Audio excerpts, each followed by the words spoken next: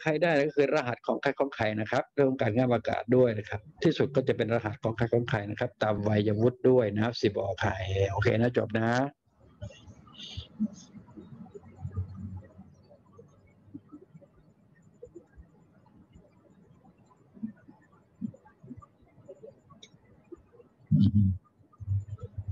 หมดอ๋อเฟซหลุดสองสามครั้งเลย ต้องเข้ามาดู YouTube เลย โอเค ได้ ดีเงี้ยเรามีสองห้อง จะเปิดห้องไหนดูก็ได้เนอะเราดีสองห้อง เราเด่นมันสองห้องเลย มีห้องที่สามก็เล่นห้องที่สามปฏิบัติธรรมมาก ๆ มันก็เหมือนทิ้งหินลงแก้วน้ำ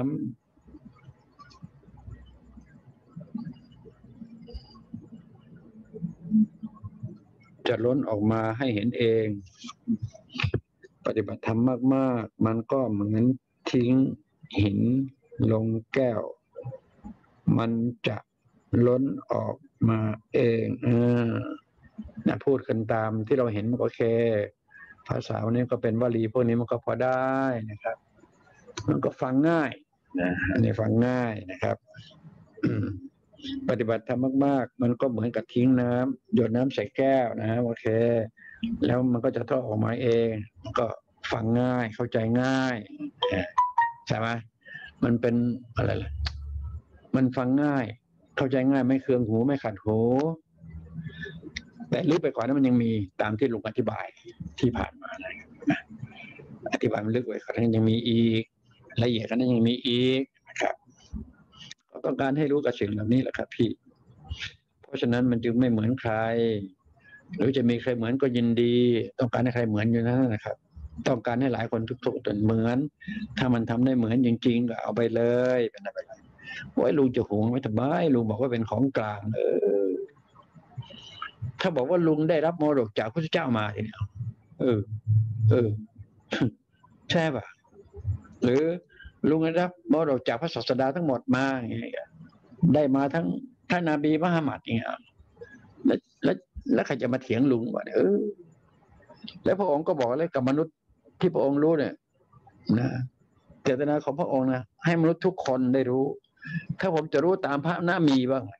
ใช่ไหมครับ มันเสียหายตรงไหนนี่จะรู้นะออถ้าผมจะรู้ตามพระเยซูเจ้าสักอย่างแล้วมันจะเสียหายตรงไหนทีเนี้ยเออ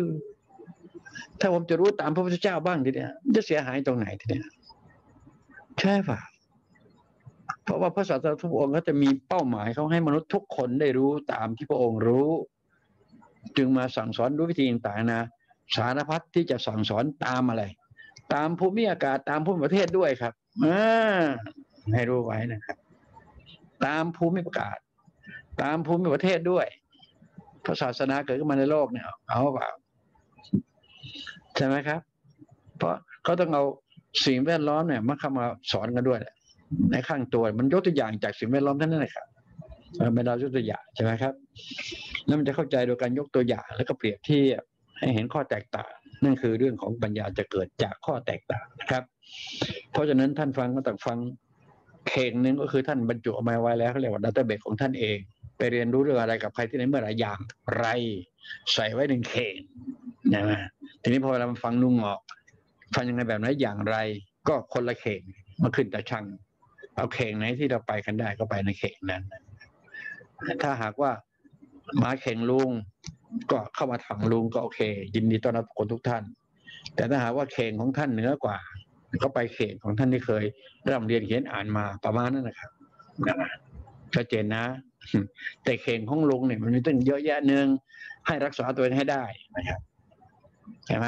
สองกำจัดสิ่งไม่ดีต่างๆนั้นออกจากร่างกายออกไป